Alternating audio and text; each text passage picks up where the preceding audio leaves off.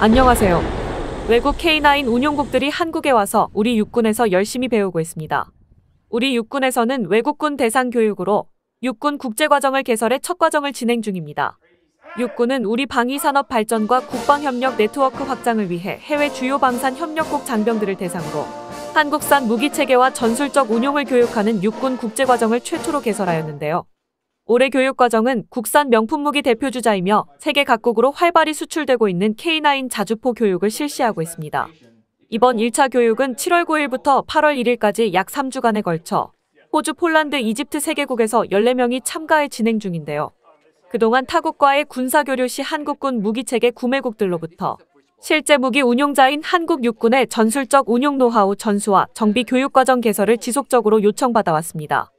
이에 따라 육군은 작년부터 국방부, 방사청, 방산업체들과의 의견을 수렴해 올해 전반기에 주요 방산 협력국과 잠재 구매국을 대상으로 육군 국제 과정을 개설하여 첫 번째 교육생들이 교육 중이라는 소식입니다. 이번 교육은 기존 방산업체에서 실시하던 정비기술 위주 교육에서 더 나아가 외국군 대상으로 육군의 병과학교에서 무기체계 운용 교육을 실시하는 등 보다 심도 있는 교육 훈련 체계 과정을 개설한 것인데요. 세계 어느 나라도 무기 수출 후 이렇게 꼼꼼하게 교육을 전수해주는 것은 아마도 대한민국이 유일하지 싶습니다. 대부분의 경우는 방산업체에서 무기 조작 방법과 정비 교육으로 끝인 경우가 많은데요. 대한민국은 무기 체계를 수출하는 것을 뛰어넘어 사용 방법 전술적 운용과 정비 분야 등 다양한 교육을 군에서도 나서서 제공하기 때문에 해외 도입국으로부터 큰 호응을 얻고 있습니다. 이것은 과거 원조를 받던 나라에서 다른 나라를 지원해주는 진심 어린 K국방의 한 단면을 보여주는 것이라 하겠는데요. 기존의 K9 운영국들을 대상으로 한 유저클럽도 해외에서 큰 호응을 얻었으며 대한민국은 단순히 무기를 파는 나라가 아니라 끝까지 진심으로 도움을 주는 나라라는 인상을 심어줘 화제가 되기도 하였습니다. 육군 국제과정은 장비 운용 능력 구비뿐만 아니라 실제 한국군 야전부대 훈련에 참가하는 기회를 제공하고 과학화 훈련 체계를 체험함으로써 육군의 우수한 교육 훈련 체계를 이해하도록 짜임새 있게 구성되었다고 하는데요. 1주차 교육 기간에는 도라산 전망대 등 안보견학과 육군과학화 훈련단 KCTC 훈련 참관, 육군사관학교 소부대 과학화 훈련 체계 체험 등을 통해 대한민국의 안보 상황과 우리 육군의 과학화 훈련 체계를 체감하는 현장 위주 교육을 실시하였습니다. 이에서 3주차 교육은 육군 포병학교 K9 자주포 운용자 교육과정 입교식을 시작으로 K9 자주포 장비 조작, 시뮬레이터 실습, 포탄 사격, 사용자 정비 등 K9 자주포 교육을 진행 중입니다. 실제 K9 자주포 운용 전 시뮬레이터 실습을 받은 외국군들은 체계적인 대한민국 육군 교육 체계의 우수성을 체감하고 실제 장비 기동 없이 K9 자주포 조작을 숙달할 수 있는 시뮬레이터 실습에 많은 관심을 보였다고 합니다.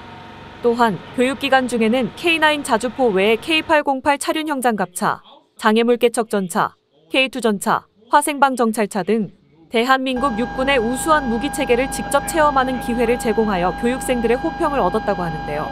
하나만 사지 말고 좋은 것 많으니 돌아가서 다른 것도 사자고 홍보하란 뜻이지 싶습니다. 또한 포병학교 교육 후에는 야전부대 훈련에 직접 참가하여 주특기 훈련, 기동 및 포탄 실제 사격 등 연합훈련까지 실시할 예정이라고 하는데요. 호주 육군 책임자로 교육에 참가한 매튜 깁슨 밀러 소령은 한국 교관들이 제공하는 기술과 지식, 경험은 호주군의 역량을 향상시키는데 큰 도움이 될 것이란 소감과 함께 AS9 자주포가 호주군에 정식 배치되기 전에 K9 자주포의 다양한 전술적 운용 방법을 배워갈 수 있어 매우 만족한다고 말했습니다. 그리고 폴란드의 고수 중위는 육군 국제 과정을 통해 습득한 지식이 폴란드에서 매우 유용하게 사용될 것 같다며 특히 참가국 장병들과 포병 운용에 대해 논의할 수 있어 매우 가치 있는 시간을 보내고 있다고 밝혀 교육에 매우 만족한다는 소감을 피력했습니다. 이같이 이번 육군 국제 과정은 군사 외교 차원에서 대한민국 육군의 우수성을 알리고 글로벌 방산협력 강화에도 기여할 것으로 보입니다. 아울러 오는 11월에는 기계화학교에서 K2 전차 과정, 군수학교에서 K9 자주포와 K2 전차 정비 과정을 개설하고 2025년 이후에도 방산 수출 무기 체계를 고려하여 교육 과정을 확대할 계획이라고 합니다. 우리가 풍전 등화의 상황에 처했을 때 이름도 모르는 한반도로 파병을 온 수많은 유엔군들의 도움으로 지켜낸 대한민국은 은혜를 잊지 않고 보답하는 국가입니다. 그리고 세계 10대 경제대국 세계 5위의 국방력을 갖게 된 지금은 도리어 우리를 도와줬던 나라들의 안보를 위해 도움을 주고 있습니다. 이같이 우리의 무기를 사가고 우리나라가 앞선 군사교육을 전수하고 있어 뿌듯한 자부심을 느끼게 되는데요. 단순히 무기 판매에 따른 서비스가 아닌 진심 어린 보답의 마음으로 우리 군이 나서서 돕고 있다는 기분 좋은 소식입니다. 국군 장병 여러분, 무더운 장마철에 부디 건강에 유의하시고 굳건한 국토 수호에 흘리신 땀이 헛되지 않으며 우리 대한민국 국민은 늘 국군을 힘차게 응원하고 있음을 알아주시기 바랍니다. 정말 감사드립니다. 강대국이 되는 그날까지 강대국 코리아는 달려갑니다. 구독, 좋아요, 멤버십은 애국입니다. 감사합니다.